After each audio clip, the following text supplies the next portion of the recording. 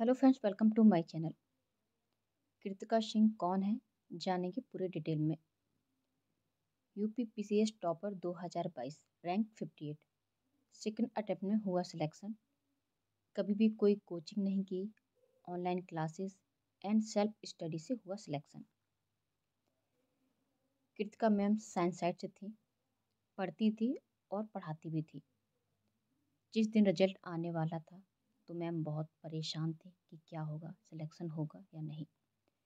लेकिन अचानक एक फ्रेंड का फ़ोन आया कि आपका सिलेक्शन हो गया है, आप डीएसपी बन गई हैं। कृतिका जी पहले एसएससी की तैयारी करना चाहती थी, एक सरकारी नौकरी पाना चाहती थी। लेकिन मैम की दीदी ने सिविल की तैयारी करने के लिए कहा पिताजी एक किसान थे, लेकिन पिताजी ने हमेशा पढ़ाई के लिए मोटिवेट किया। जब मैम ने सिविल की तैयारी स्टार्ट की थी, तब कोई आइडिया नहीं था कैसे क्या पढ़ूं, लेकिन अपने सीनियर और दोस्तों से पूछती थी कि क्या पढ़ूं। कुछ टीचर्स भी थे जो आइडिया दिया करते थे।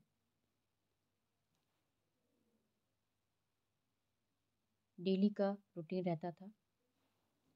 सात आठ बजे उठना एक दो बजे तक सो जाना। डेली दस बारह घंटे पढ़ना। एक दिन पहले की प्लानिंग कर लेती थी कि कल क्या पढ़ना है, कितना पढ़ना है। टाइम को बहुत अच्छे से मैनेज किया।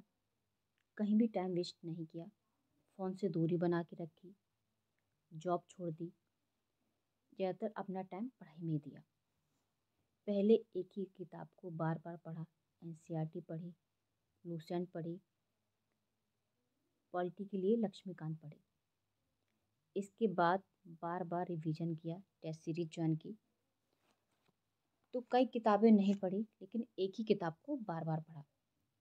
फ़र्स्ट अटैम्प्ट में एक नंबर से सिलेक्शन रुक गया तो बहुत दुख हुआ। मैम को हमेशा डर रहता था कि क्या होगा, मेरा सिलेक्शन होगा या नहीं।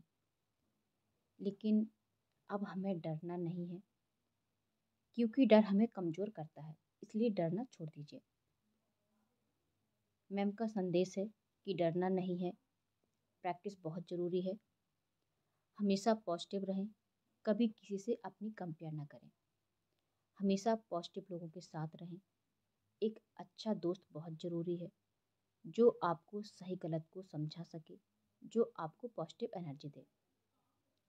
लड़कियों के लिए विशेष संदेश है कि लड़कियाँ डरें नहीं, आगे बढ़ें और एक रोल मॉडल के रूप में आगे आएँ। धन्यवाद।